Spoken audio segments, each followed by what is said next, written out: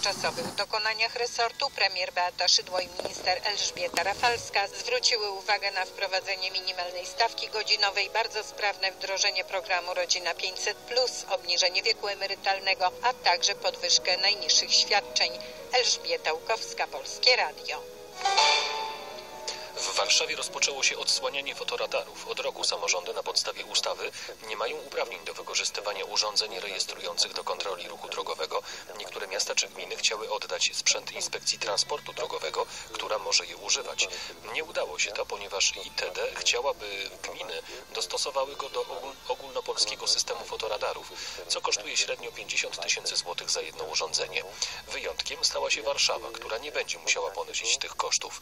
Łukasz Majchrzak z ITD mówi, że w stolicy trwają prace nad uruchomieniem fotoradarów. Muszą zostać zaktualizowane oprogramowania tych urządzeń, muszą zostać zainstalowane odpowiednie moduły, które pozwolą na transmisję danych pomiędzy urządzeniem rejestrującym a systemem informatycznym i to w oczywisty sposób musi zająć kilka miesięcy. Natomiast oczywiście zależy nam na tym, aby te urządzenia jak najszybciej wróciły do użytkowania, dlatego że ich obecność, ich działanie przyczynia się do tego, że na warszawskich drogach jest po prostu bezpieczniej. Łukasz Majchrzak zapewnia, że kierowcy zostaną poinformowani, kiedy fotoradary zaczną robić zdjęcia. Będą poprzedzone znakiem D51, które informuje kierowców o tym, że zbliżają się do miejsca objętego automatycznym nadzorem. Natomiast z przepisów nie wynika stricte obowiązek informowania o włączeniu danego urządzenia. Natomiast oczywiście my nigdy nie robiliśmy tajemnicy z lokalizacji naszych urządzeń. Te lokalizacje są dostępne na naszej stronie internetowej. W momencie, kiedy będziemy je uruchamiać, to też na takiej interaktywnej mapie one będą się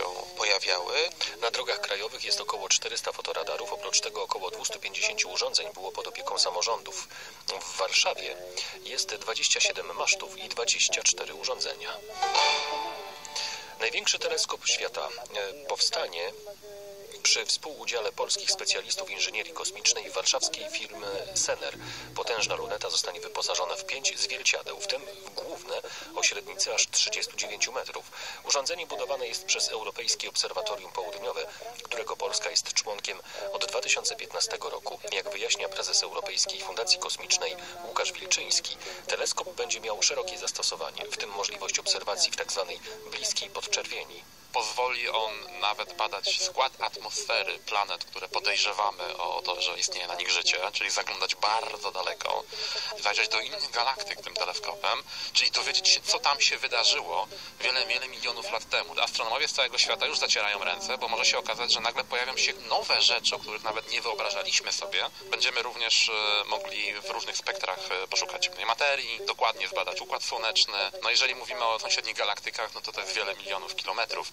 Teleskop zostanie osadzony na górze Cerro Armazones na wysokości ponad 3000 metrów nad poziomem morza w centralnej części pustyni Atacama w Chile, czyli w jednym z najsuchszych, najsuchszych obszarów świata. Prace nad projektem będą realizowane 6 lat, z czego w Polsce maksymalnie 4 lata. Największy teleskop świata zostanie uruchomiony w 2024 roku. Polskie Radio 24. Słowem wszystko. Zbliża się 4.35. Polskie Radio 24. Powtórka programu. Już wracamy. Moim gościem jest profesor Jerzy Eisler. Rozmawiamy o dziedzictwie e, Polski Ludowej i PRL.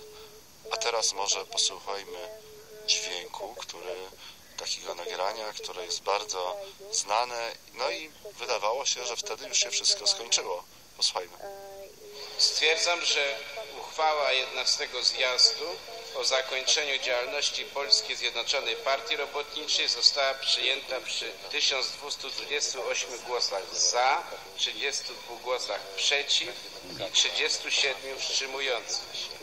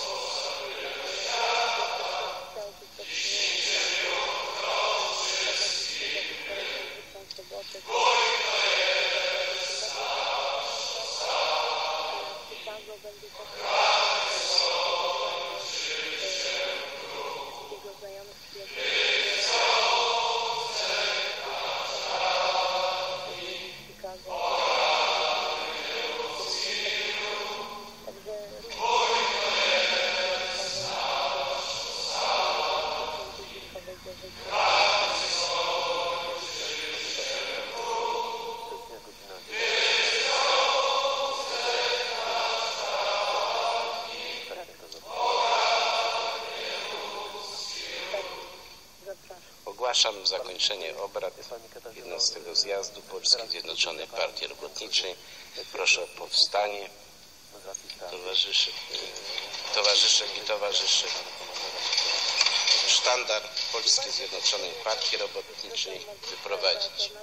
No właśnie, pan profesor e, stawia tezę, że ten e, sztandar, który wydawało się, że sztandar wyprowadzono, ale międzynarodówka w sercach pozostała. A panie profesorze pytanie, Gdyby tak się taki no, PRL podobno musiał się zawalić z przyczyn ekonomicznych, niewydolności tego systemu i tak dalej. No, do wyboru było albo wywołanie wojny i zajmowanie nowych terenów, albo ten system musiał kiedyś upaść. No to tak, taka jest, przynajmniej takich historyków ekonomii, no to taka mniej więcej, czy analityków, taka teza, nie wiem czy prawdziwa, czy nie, ale jakby coś się takiego stało, że on by przetrwał jednak, to jak pan sądzi, czym dzisiaj e, Jerzy Eisler zajmowałby się e, no bo nie mógłby chyba być historykiem PRL-u.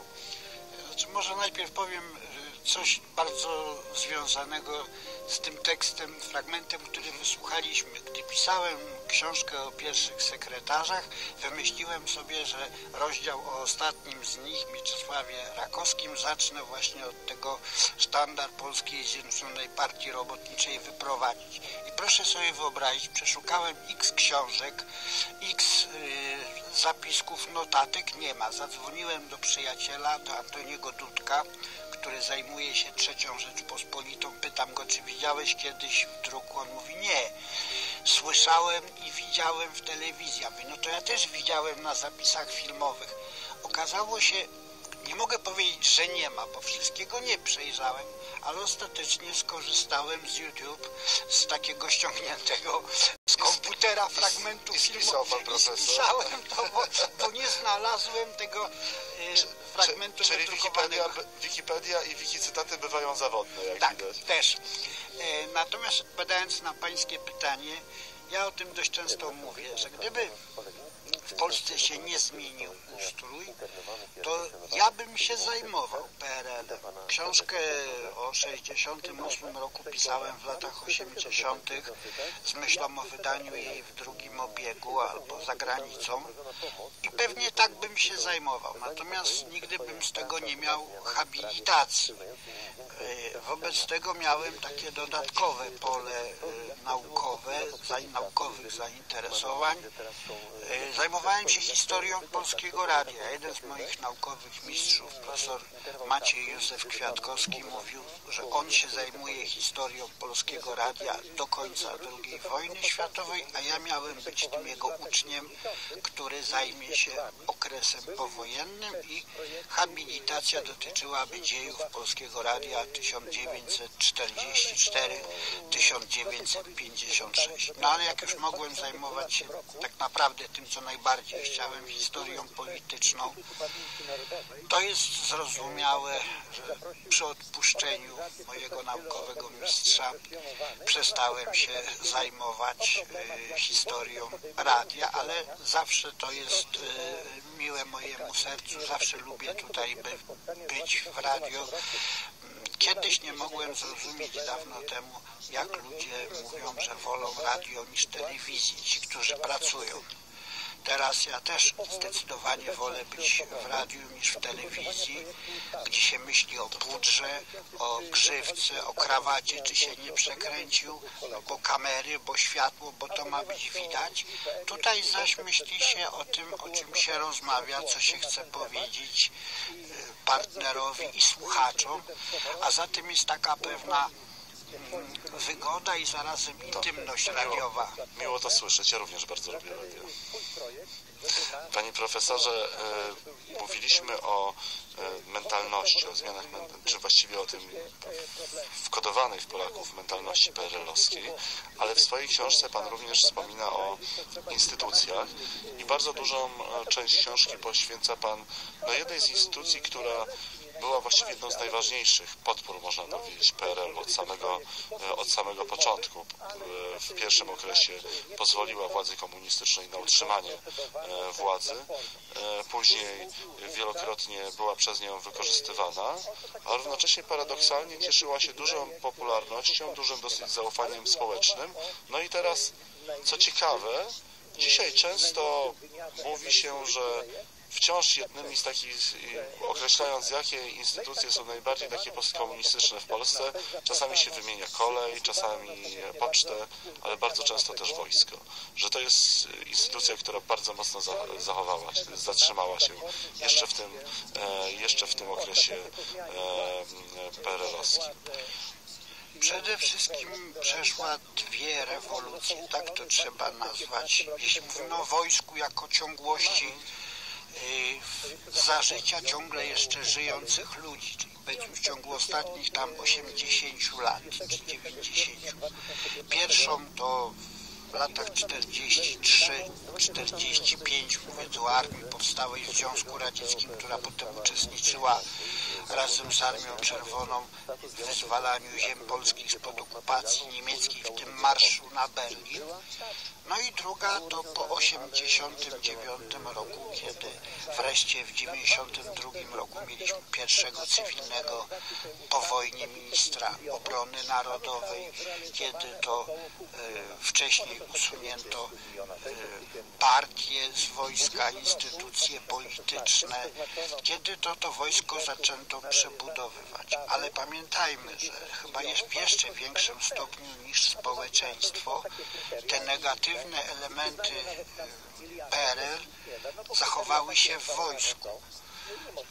W wojsku to oczywiście można powiedzieć, to jest złośliwe, nieżyczliwe, niesympatyczne, ale jednak często mówi się, że wojsko nie jest od myślenia, tylko od wykonywania rozkazu. Skoro ludzie myślący sami dochodzą do wniosku, że jednak są tymi dziećmi PRL-u i mają gdzieś te nawyki, to nie jestem pewien, czy wszyscy wojskowi też taką metamorfozę przeszli. Muszę powiedzieć, że jak widziałem potem te pielgrzymki generalskie na Jasną Górę, absolwentów Woroszyłówki i innych akademii wojskowych radzieckich, Diabeł się ubrał w ornat? tak, ja nikomu nie odmawiam zmiany światopoglądu, zmiany poglądów. Jest takie nieładne powiedzenie, ale można je powiedzieć na antenie, że tylko krowa nie zmienia poglądów. Człowiek ma prawo ewoluować, zmieniać, dojrzewać, ale nie wszyscy naraz, nie z piątku na sobotę, nie na komendę, e, nie tak, że kiedy Jan Paweł II był w Polsce w 1987 roku, to w ogóle słowa woj, słowo wojsko nie padło, a kiedy był w 91, no to zgotowano mu takie powitanie pod, pod Koszalinem na wojskowym lotnisku, no po prostu ci, ci sami ludzie.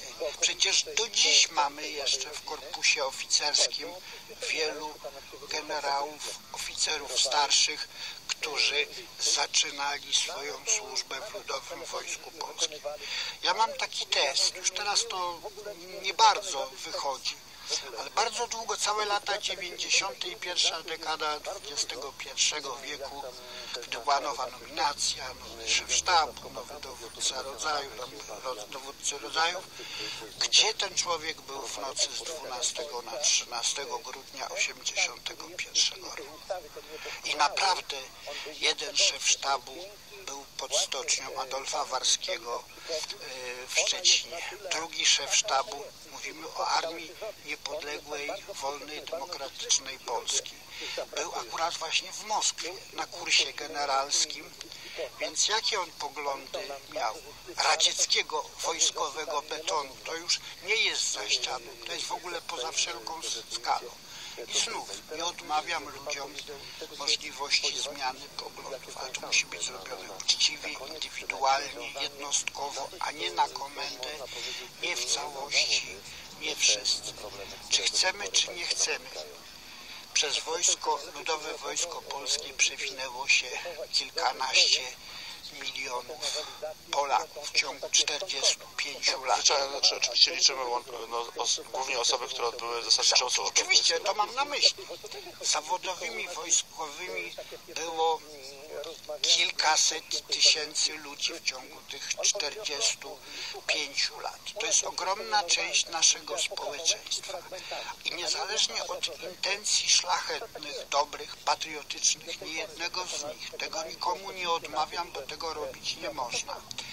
No trudno nie zauważyć, się na to patrzy z takim naukowym spokojem, obiektywizmem, chce się do tego podejść, że tym głównym zadaniem Ludowego Wojska Polskiego nie była obrona Polski przed agresją zewnętrzną. Na szczęście po roku 1945 nie musieliśmy naszego państwa, naszego kraju bronić przed agresją. Natomiast były funkcje stricte policyjne. To było wsparcie tam, gdzie już milicja nie dawała sobie rady, albo jej nie było, tak jak w 1956 roku w Poznaniu. Nie było w Polsce tego, co potem nazywało się zmotoryzowanymi odwodami milicji obywatelskiej, skoszarowanych jednostek, hełmy, długie pałki, tarcze, armatki wodne, wyrzutniki granatów łzawiących i tak dalej. Tak. Nie było takich formacji, więc kiedy doszło do buntu społecznego w czerwcu 1956 roku, to przeciwko zbuntowanemu, zrewoltowanemu miastu wysłano e, trzy, dwie czy trzy dywizje wojska.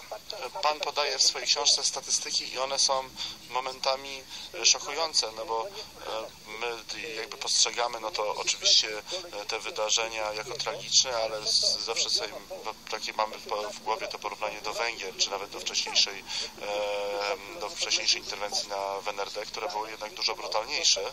Natomiast kiedy Pan pokazuje ilości za, zaangażowania tak naprawdę wojskowego, to jest nieprawdopodobne, że e, no, e, polskie, Ludowe Wojsko Polskie tłum, tłumiąc e, powstanie w czerwcu 56 roku w Poz- w Poznaniu użyło trzy razy więcej czołgów niż, niż Sowieci zdobywając Poznań w 45 roku. Tak, to prawda. I to rzeczywiście, jeżeli tego nie powiemy głośno, jeżeli uznamy, że wystarczy zmienić sobie patronów, wszystkie nasze związki taktyczne, jednostki mają nowych, bardzo pięknych patronów. Ja się na przykład zastanawiałem, czy nie powinny wrócić do patronów przedwojennych. Ale cokolwiek by się stało, to przecież no jakby dążenie do ciągłości musi przechodzić przez PRL. W jednej z dywizji, żeby było jeszcze śmieszniej, stacjonującej na ziemiach zachodnich i północnych, nie powiem gdzie, nie powiem która, W każdym razie przygotowanej do, do ataku na Kopenhagę, jak to było Tak. e, w planach e, perelowskich. niedawno, dwa lata temu, jak się dowiedziałem, wymyślono sobie komplet fotografii dowódców od roku 1920, jak ta dywizja istniała. Zaraz w 20 roku to przecież to było, a potem co? Stalingrad, Paryż, co to ta dywizja zdobywała? Nie. Okazało się, że można zrobić taką woltę, ja bym na to nie wpadł. Podłączono się podnoszącą ten sam numer polską dywizję z okresu międzywojennego stacjonującą e, w tak zwanym korytarzu na Pomorzu. I tę historię, potem historię tej dywizji w czasie II wojny światowej jakby wzięto za swoją, no potem jest PRL, w tym panteonie dowódców mieli być między innymi generałowie odpowiedzialni za pacyfikowanie Gdańska e, w 70 roku. Ja nie żartuję, naprawdę. I potem przejście w trzecią Rzeczpospolitą, NATO, płynnie, harmonijnie, jakby to była jedna i ta sama armia. Dlatego ja w tej książce obsesyjnie upieram się przy przymiotniku ludowe, chociaż formalnie nie było go, ale na bramach jednostek często było napisane Ludowe Wojsko Polskie. albo tak. Cała masa dokumentów ma formułę Ludowe Wojsko Polskie. A poza tym, jeśli to słowo ludowe odetniemy, to zgodzimy się na to, że wojsko, II Rzeczpospolitej i wojsko III Rzeczpospolitej niczym się nie różniło od tego z czasu PRL. Bo to jest częste Na pytanie. to nie ma zgody. No, no właśnie, i to jest, bo to jest pytanie, czy e, mamy wziąć odpowiedzialność za to, że żołnierz polski, no tak to nazwijmy, i uznać, że to żołnierz polski e, przeprowadzał czystkę etniczną, czystki etniczne w latach, e, w drugiej połowie lat e, 40. E, no, rozjeżdżał... 60. Znaczy ja miałem teraz na myśli akcję Wisła A, i tą a. wcześniejszą e, operację e, anty, anty, antyukraińską, właściwie jeszcze brutalniejszą, Tak, oczywiście. lat 44-46. Na pewno. Ro- No, e, tu e, st- stłumił e, bardzo brutalnie kilka krajowych buntów, bo w 56 roku, w 70 roku, no i stan wojenny, no i do tego jeszcze rozjechał czołgami Czechosłowację. Czy to byli polscy żołnierze, czy to było polskie wojsko, czy nie? Było polskie wojsko, to byli polscy żołnierze, ale może czas już najwyższy, żeby zacząć mówić, że w Polsce Ludowej przez 45 lat to, co można było powiedzieć w radiu, telewizji, y, napisać w książkach, w prasie, było najczęściej, nie mówię, że zawsze, najczęściej racją stanu Związku Radzieckiego, a nie Polski, jakiejkolwiek Polski bezprzymiotnikowej, przymiotnikowej. Była to racja stanu ZSRR. Tam przykład, którego nigdy publicznie nie mówię, no może zrobię wyjątek, żeby pokazać. Dziękuję. W bardzo wielu książkach, w bardzo wielu artykułach, także naukowych, można przeczytać, że zajmując nasze wschodnie województwa we wrześniu 1939 roku Józef Stalin zyskał czas potrzebny na przygotowanie się do obrony.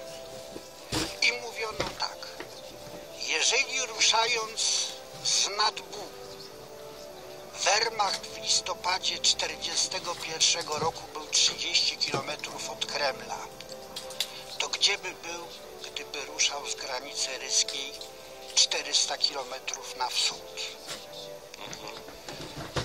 Jest to prawda, ale Polak tego nie może powiedzieć.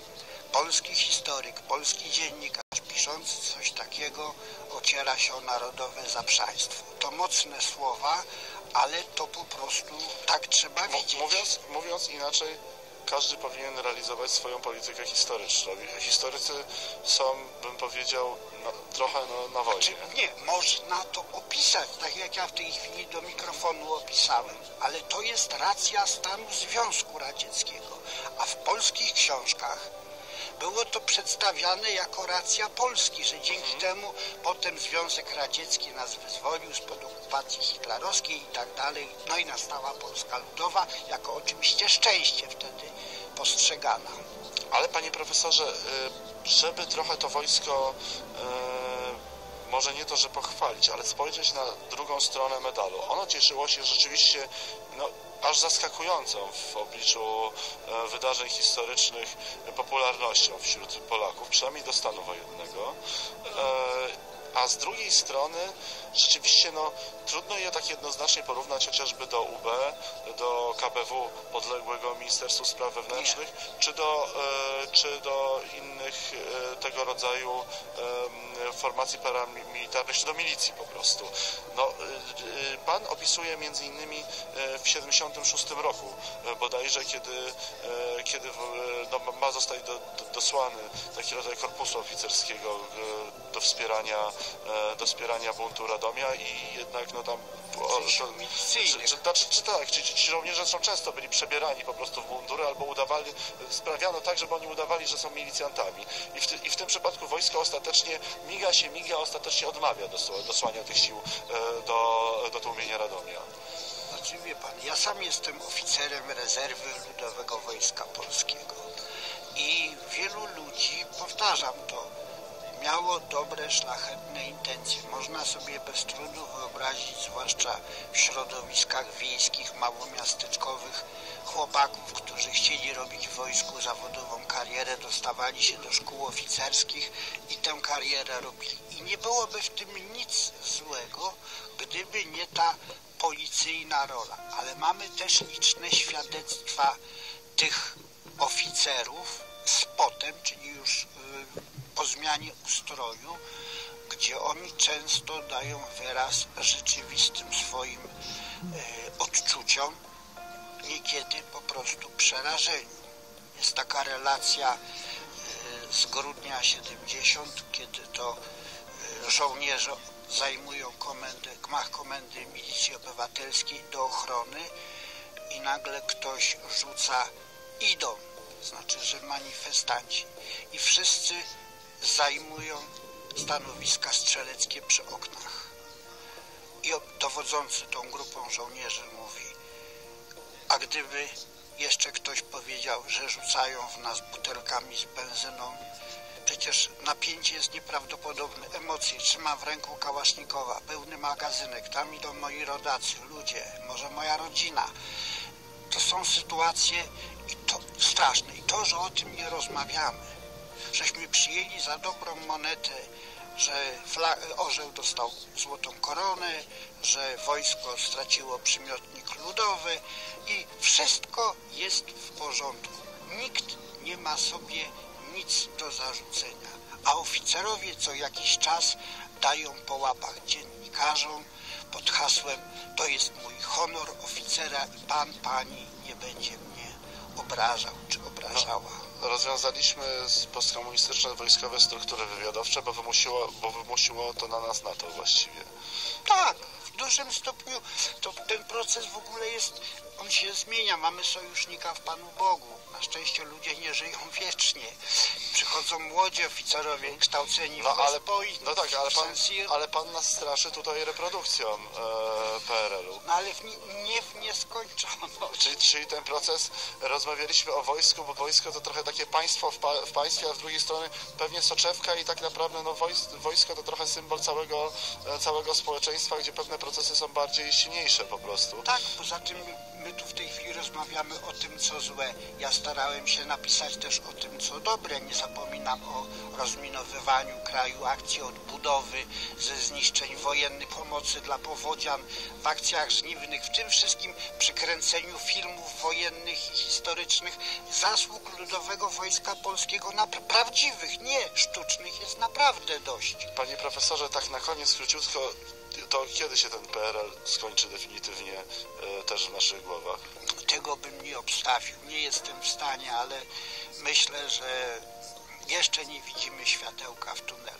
Czyli 40 lat musimy iść, tak jak, e, Co najmniej. tak jak Żydzi przez pustynię. Co najmniej. Dziękuję Państwu bardzo serdecznie i dziękuję bardzo serdecznie Panu Profesorowi. Dziękuję. Moim gościem był profesor Jerzy Eisler, autor znakomitej książki zbioru, e, zbioru artykułów Co nam zostało z tamtych lat, dziedzictwo PRL-u. Ja również żegnam się z Państwem. Dobranoc. Dobranoc.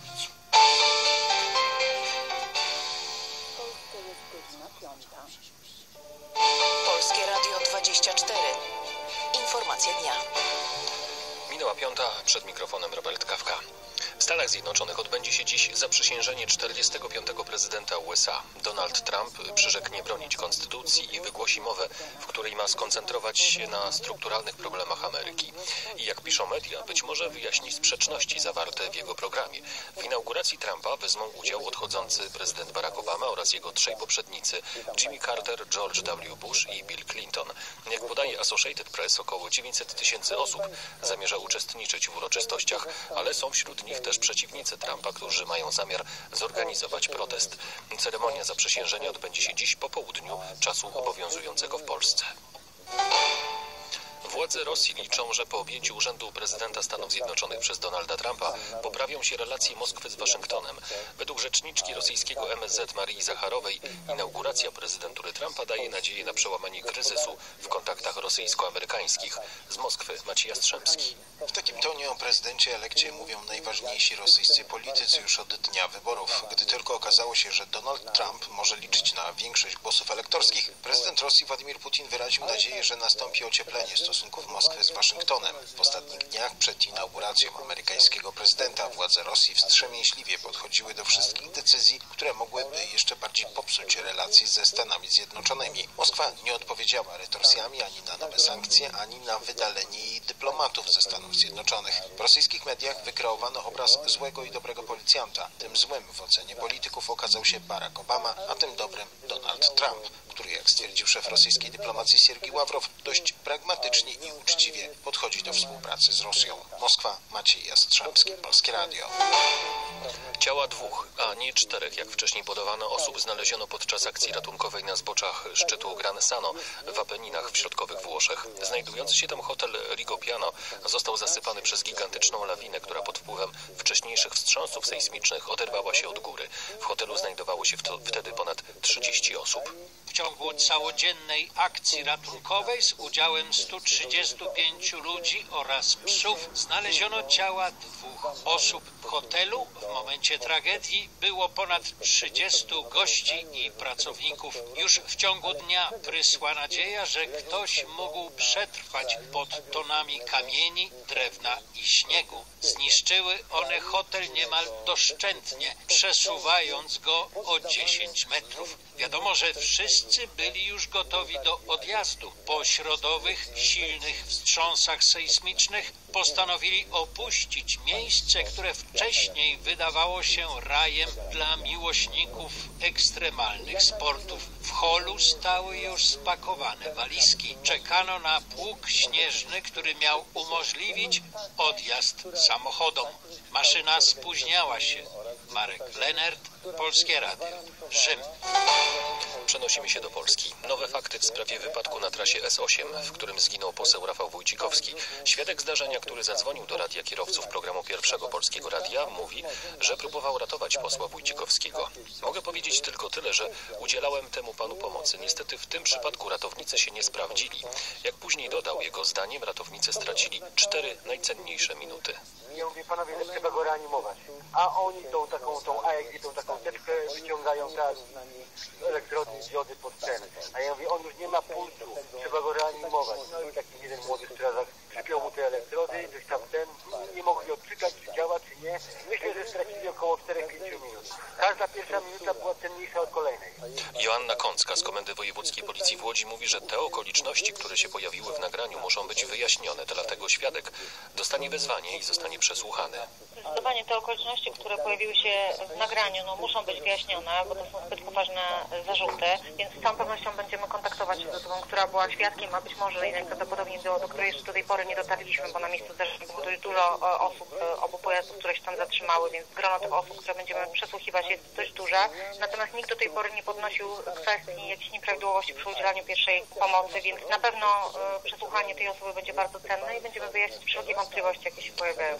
Do wypadku doszło wczoraj rano na drodze S8 w powiecie skierniewickim na wysokości miejscowości Wędrogów. Jedący Volkswagenem poseł Rafał Wójcikowski stracił panowanie nad autem i uderzył w barierki. Prognoza pogody. W dzień w kraju będzie zachmurzenie całkowite z większymi przejaśnieniami na południu. Na przeważającym obszarze słabe opady śniegu lub deszczu, a lokalnie marznące mrzawki powodującej gołoleć. Bez opadów tylko na krańcach południowych.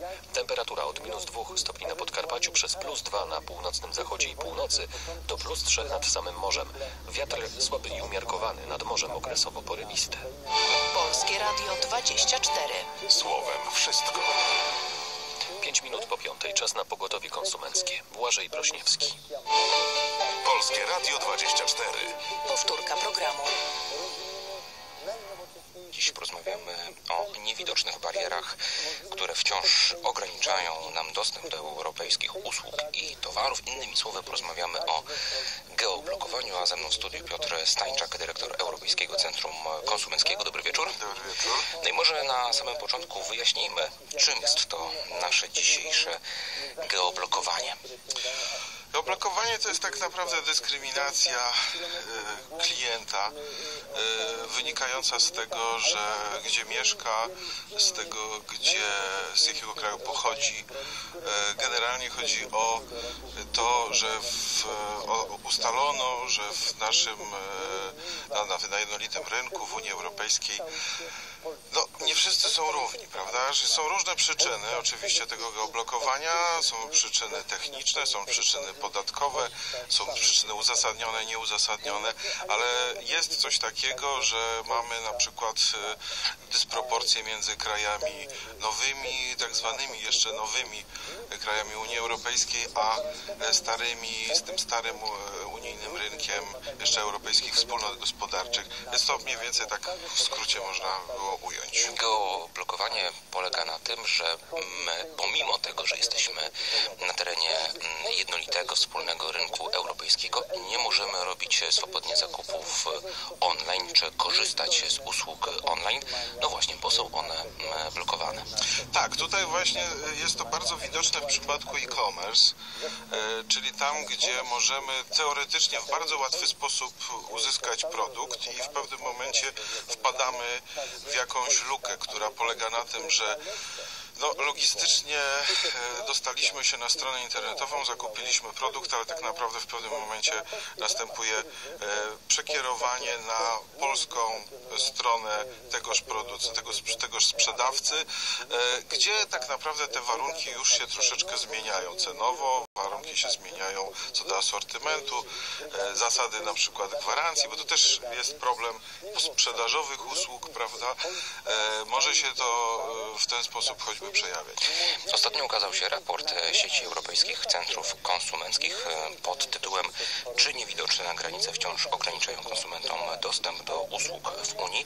W nim możemy przeczytać m.in., że w okresie od stycznia 2013 do grudnia 2015 roku sieć otrzymała ponad pół tysiąca skarg w zakresie dyskryminacji konsumenckiej. W stosunku do lat poprzednich to wzrost o 140%. Skąd wziął się ten e, wzrost? Czy z tego, że jest coraz więcej działań związanych e, z geoblokowaniem, czy być może po prostu świadomość w Unii e, konsumencka rośnie? Znaczy przede wszystkim trzeba powiedzieć, że mówimy o dyrektywie usługowej, która powstała w 2006 roku i ona nie była e, tworzona z myślą tyle o samym geoblokowaniu w tym, w tym sensie, o którym pan redaktor mówi tutaj, czyli handel elektroniczny, geograficzne zróżnicowanie. Raczej chodziło o dyskryminację na rynku, na jednolitym rynku, a więc takim można powiedzieć tradycyjnym jeszcze ujęciu. Także to, to rzeczywiście można powiedzieć, że to jest bardzo marny rezultat. Jeżeli weźmiemy pod uwagę, że sieć europejskich centrów konsumenckich e, rocznie przetwarza około 200 tysięcy różnego e, rodzaju spraw, no to w tym momencie to jest taki, taki promil, który gdzieś tam e, się pojawia. Oczywiście jest pewien postęp, ale to jest e, bardzo, bardzo, bardzo tak naprawdę dramatyczny obraz, dlatego że tutaj ten nasz raport też wskazuje, że, że jeśli chodzi o egzekucję, organy, które powinny egzekwować wszystkie naruszenia związane z geoblokowaniem, to tych, one występują tylko w 19 krajach. Nasz, u nas w Polsce jest na przykład system e, sądowniczy, który jest bardzo złożony, bardzo trudny dla konsumenta I do długotrwały. I długotrwały, no właśnie to jest to.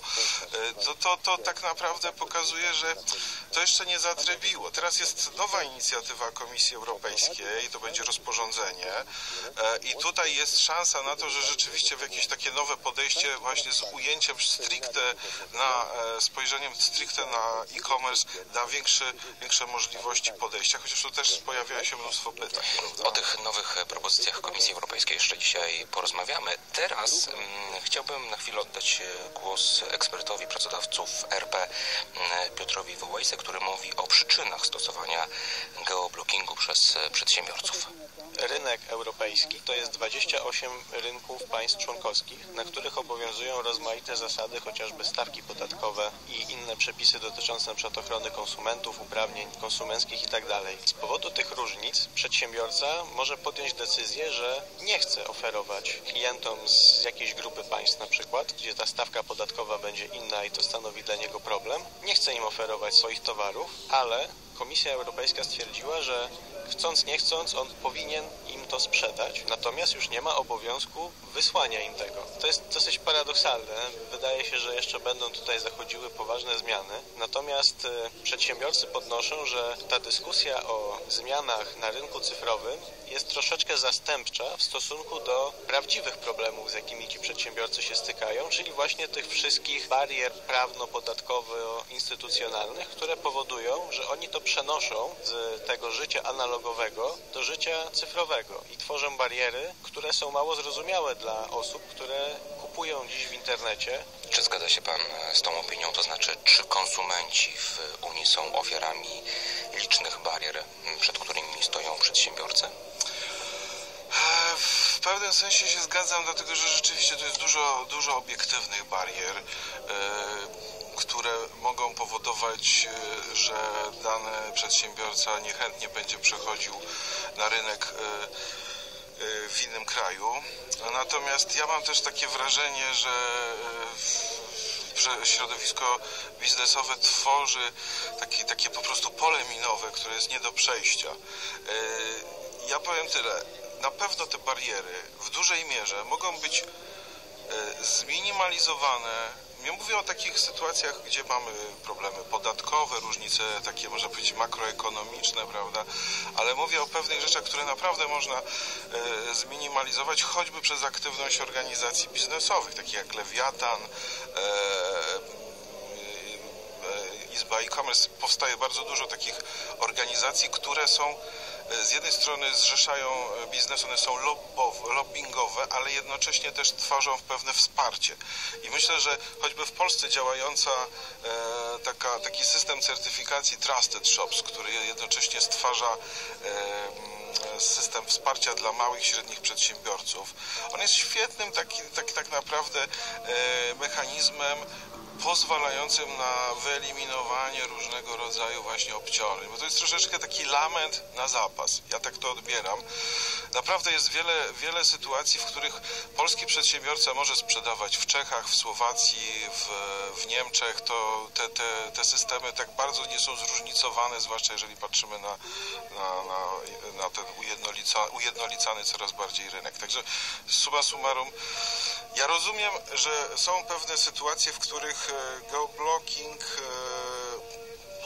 jest uzasadniony, jest uzasadnialny, prawda, ale tak naprawdę no, to nie, nie można z tego stworzyć jakiegoś fetysza, jakiegoś, jakiegoś dogmatu, który, który stwierdzi, że no, to na takim mikrokontynencie, jakim jest jednolity rynek, no, nie da się zrobić e, jakiegoś, jakiegoś, jakiegoś obrotu bez barier i to jeszcze wykorzystując e, e-commerce. Panie dyrektorze, to może teraz oddajmy głos naszym słuchaczom, czyli Państwu. Posłuchajmy teraz e, pierwszego telefonu. Na święta próbowałem zakupić sprzęt elektroniczny w sklepie internetowym. Tutaj dwoma tak naprawdę problemami e, się spotkałem. Po pierwsze, kiedy próbowałem wybrać e, cenę, która była bardzo korzystna, to przekierowywało mnie na stronę powiązanego partnera polskiego, gdzie cena już e, była dużo wyższa. Kiedy próbowałem ominąć, tak powiem, ten problem, to największą przeszkodą, jaką spotkałem, było brak możliwości zapłacenia moją kartą. To znaczy wpisywałem oczywiście wszystkie dane, które trzeba podać, numer, datę ważności, ale, ale sama transakcja nie chciała się zakończyć, nie mogłem jej zakończyć, cały czas była odrzucana. To się wszystko działo w innym kraju Unii Europejskiej, ale w ramach Unii. Tu, jak e, zresztą sam słuchacz zauważył, mamy do czynienia z dwoma problemami. Po pierwsze, przekierowywanie na inną stronę mm, internetową i brak możliwości zapłacenia polską kartą.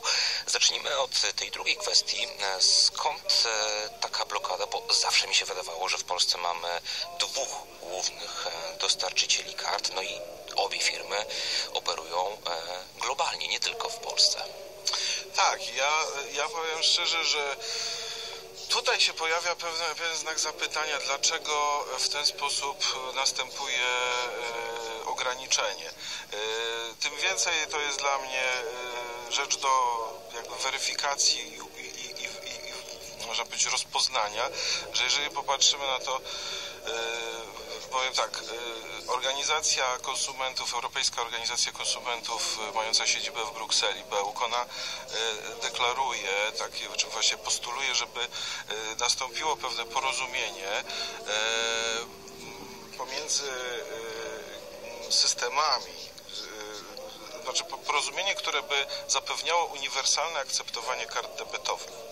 I te systemy, to co powiedziałem wcześniej o, o organizacjach biznesowych, e, plus, e, czyli organizacje biznesowe plus, plus inni policy makers, prawda, decydenci politycy mogą, i to jest to pole, w którym wydaje mi się Unia Europejska ma rację, powinien tak naprawdę zdeterminować e, i spowodować wzmocnienie tego, tego, tego, tego trendu ku ujednoliceniu, ku redukcji, ustąpieniu z pewnych barier. Bo tutaj tak naprawdę nie ma jasności. Nie mamy na pewno czytelności konkurencji, nie mamy czytelności blok ograniczenia konkurencji. E, Ja nie jestem oczywiście odpowiedzialny, w, te, w tej chwili nie mogę odpowiadać za, za, za, za to, w jaki sposób wypa, wy, jakby wypadło postępowanie e, badające, czy tu nastąpiło w jakiś sposób nadużycie e, zasad konkurencyjności, czy ograniczenie zasad konkurencyjności ze strony e,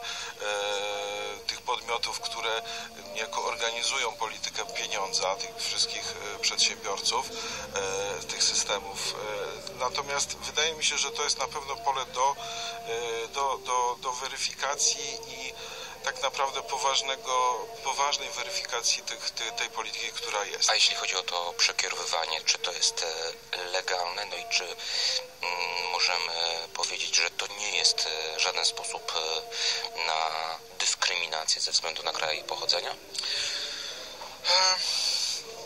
Znaczy, głos ze strony też organizacji biznesowych, których, my się staramy też słuchiwać. Europejskie Centrum Konsumenckie stara się też nawiązywać dialog z organizacjami biznesowymi.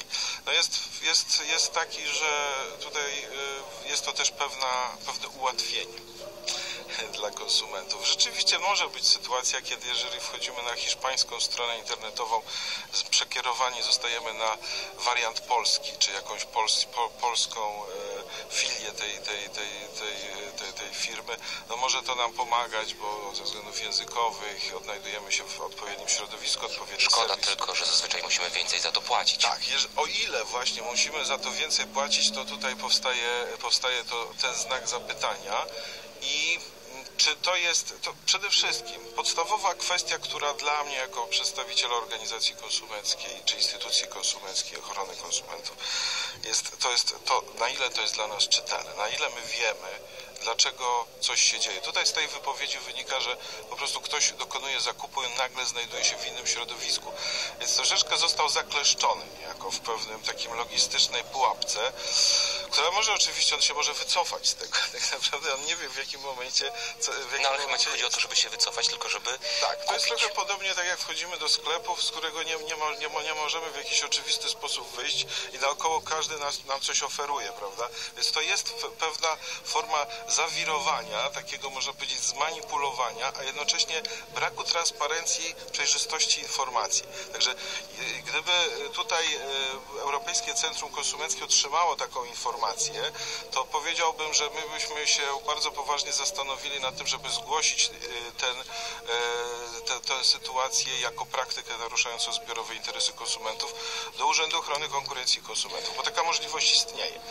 I w tym momencie ustalalibyśmy pewne, pewną regułę na rynku, to znaczy oczywiście urząd przepro- po przeprowadzeniu postępowania i wydaniu decyzji. To może teraz e, posłuchajmy kolejnego telefonu, właściwie z bardzo mm, podobnym problemem. Chciałem zapytać o taką sprawę. Czy przepisy unijne dotyczące handlu internetowego w różnych krajach są różne? Otóż miałem taką historię. Chciałem zamówić zegarek z Danii w sklepie internetowym, który był w promocji. Tym, że jak zacząłem składać zamówienie i wpisałem polski adres, okazało się, że strona nie działa, cofnęła mnie w głąb i promocja zginęła. Czy to jest zgodne z prawem obowiązującym w Unii Europejskiej? Czy można się od tej sprawy gdzieś odwoływać? Panie dyrektorze? Znaczy, no taki, bo to jest, to, to może trochę inaczej brzmi, ale analogiczna sytuacja. To jest po prostu, znaczy ja bym to zinterpretował jako tak zwaną agresywną praktykę, bądź też można by się przy, przy bliższym przyjrzeniu trzeba by było ustalić, czy to jest agresywna praktyka, czyli takie wpuszczenie e, konsumenta w pewien e, system, z którym on się czuje już jakoś zdeterminowany, nie wie, czy podejmuje dobrą decyzję, czy złą, ewentualnie po prostu wprowadzenie w błąd, e, taka, taka zamieszanie informacji, prawda, bo on tutaj gdzieś dowiaduje się nagle, ma, ma atrakcyjną promocję i nagle, nagle się znajduje gdzieś, gdzie tej promocji nie ma. Także to, to na pewno jest coś, co jest pewną manipulacją, Czy jest założona, bo to też jest y, kwestia. Jeżeli jest, je- tu nie ma tak naprawdę znaczenia, czy ona jest założona przez przedsiębiorcę, czy po prostu ma ten przedsiębiorca złych informatyków, zły serwis informatyczny. To jest tak naprawdę problem po stronie przedsiębiorcy i, i tego typu zjawisko, zwłaszcza, że mówimy o właśnie tym obrocie transgranicznym, jest rażące, bo ten konsument w tym momencie tak naprawdę dokonuje różnych operacji, e, może dokonać operacji na przykład e, transakcji, która, która nie wypali. Może się okazać, że nie wiem, jest transport, prze, przesyłka tego towaru od, odpowiednio, odpowiednio kosztowna. E, więc tak naprawdę to, to zamieszanie jest już powinno być w jakiś sposób e, kwalifikowane tak, przez nas. W trakcie naszego mm, dyżuru pojawił się także inny mm, ciekawy głos w sprawie mm, co prawda nie związanej z towarami, ale z usługami, a też przypomnijmy, że go blokowanie dotyczy i dostępu na przykład do treści w internecie. Posłuchajmy. Mój znajomy zachęca mnie do tego, aby skorzystała z VPN-a wyjściem w Stanach Zjednoczonych. On dzięki temu ma dostęp do amerykańskich serwisów, do których dostęp jest ograniczony. Moje pytanie jest takie, czy jest to legalne i co mi za to grozi, jeśli nie? Tu może jeszcze e, dodajmy, że problem nie dotyczy tylko Stanów Zjednoczonych, ale także będąc w Polsce nie możemy skorzystać z mm, BBC iPlayera. Czy korzystanie z systemu VPN jest e, legalne? Znaczy ja tutaj nie widzę e, takiego e, problemu, żeby, żeby, żeby można było tutaj to jakoś dyskwalifikować. No na pewno jest, jest, jest pewien e, problem z, tymi, z, dostępem do usług online, takich właśnie audiowizualnych, dostępu do, do, do, do różnego rodzaju audycji, które byśmy chcieli słuchać. Tylko, że też pamiętajmy, że Unia Europejska traktuje to jako pewną taką, pewien taki wyjątek, tak? Czyli e, w tym momencie na razie to nie jest, to nie jest klasyfikowane. Bo to też tutaj e, istotną jest kwestia prawa autorskiego. Tak, to znaczy tutaj wykupowanie praw autorskich, czy dostawanie tych praw autorskich w poszczególnych krajach, w różnych krajach, w których e, ktoś, e, ten podmiot chce operować, to może być rzeczywiście rzecz bardzo kosztowna i zdeterminowanie e, przedsiębiorcy, że on musi po prostu sprzedawać na wspólnym rynku, to jest ten, ta kwestia, której, której, no, no, którą, nad którą się naprawdę trzeba zastanowić. Ja bym też tutaj, mówiąc wcześniej o tym, że takim płaczu przedsiębiorców nad tym, że jest tak mnóstwo problemów, że w zasadzie nie powinno się e, tworzyć presji na nich, żeby, żeby odblokować e, e, ich dostęp do, do ich ofert na innych rynkach, no to bym powiedział, że czasami mamy do czynienia z kolei z drugą stroną, takim pewnym oczekiwaniem ze strony konsumentów, tak, że powinniśmy dostać wszystko, to, to, to, to, no, to jest taki pewien miraż, tak, który oczywiście myślę, że powinno się tak naprawdę dociekać, co to znaczy wspólny rynek, ale tak samo jak na polskim rynku pewne rzeczy są niemożliwe, bo są realne ograniczenia na rynku relevantnym, prawda, dajmy na to w obszarze dwóch regionów czy jednego regionu, e, no to tak naprawdę tutaj też możemy mieć, mieć, mieć ten problem. E, więc ja bym, ja bym, e, znaczy uważam, że oczywiście jest wspaniałą rzeczą, żeby mieć ten, ten dostęp do, do, szerokich usług e, audiowizualnych. Ja, ja, sam jestem wielbicielem BBC, natomiast e, też e, rozumiem te, te, właśnie uwarunkowania i też... nie wszystko da się zrobić. Nie wszystko da się zrobić. Ja myślę, że tutaj jest kwestia tak naprawdę, jeszcze raz powiem to, pracy poszczególnych tych ogniw, czyli zarówno e, organizatorów polityki konsumenckiej, podmiotów odpowiedzialnych, jak i tych regulatorów, jak i, jak i, jak i organizacji biznesowych. To może teraz porozmawiajmy o tym głównym ogniwie, czyli o Komisji Europejskiej. Ta kilka miesięcy temu mm, przedstawiła projekt rozporządzenia w sprawie geoblokowania. Część przepisów może wejdzie w życie już w tym roku. Posłuchajmy, co na ten temat mówi Bartosz Zadura z przedstawicielstwa Komisji Europejskiej w Warszawie. Już od e, pół roku e, Parlament Europejski i Rada Europejska zajmuje się propozycjami Komisji Europejskiej, które mają w większości wypadków znieść to geoblokowanie. Zmiany mają polegać m.in. na tym, żeby zobligować firmy, które oferują usługi internetowe. To jest ważne. To nie chodzi o to, żeby wszystkie firmy zmusić, żeby one oferowały usługi internetowe w całej Europie. Nie wszyscy mają takie potrzeby, nie wszyscy mają taki potencjał, ale jeśli już dana firma X w Polsce oferuje sprzedaż internetową, to ta sprzedaż internetowa będzie musiała musiała się odbywać na takich samych zasadach dla wszystkich klientów, niezależnie od tego, czy mail przyjdzie z Hiszpanii, z Polski, czy z Portugalii. Te wszystkie zasady, na przykład akceptacja karty kredytowej, takie same obniżki, na przykład sezonowe, dostawa, warunki dostawy, to jest bardzo ważne, bo to bardzo często ogranicza ten handel internetowy. Ta zasada niedyskryminowania, czyli nie możemy stwarzać takich sytuacji, kiedy dzielimy klientów, umownie mówiąc, na lepszych i gorszych, dlatego że mają taki czy inny paszport. Te zmiany będą wprowadzone rozporządzenie, to jest ważne, to nie jest dyrektywa, że będą miały jakiś czas jeszcze do stosowania swojego prawa krajowego, czyli rozporządzenie, które określa datę, kiedy wszystkie kraje Unii Europejskiej muszą wprowadzić te zmiany, które mają skutkować dobrymi zmianami dla klientów, którzy zamawiają przez internet różne towary z jednego kraju w innym kraju, chcą mieć ten towar szybko, sprawnie dostarczony do siebie po korzystnej cenie. Panie dyrektorze, będzie przełom dzięki tym e, propozycjom Komisji Europejskiej? jako przedstawiciel Europejskiego Centrum Konsumenckiego, które działa na samym, że tak powiem, na pierwszej linii, czyli obsługa indywidualnych konsumentów, no chciałbym, tak, żeby takie, takie ułatwienie, zdy, zdynamizowanie nastąpiło. Natomiast e, wydaje mi się, że e, dobrze, że, że, że, że, ta inicjatywa jest, bo ona pozwoli oczyścić sytuację.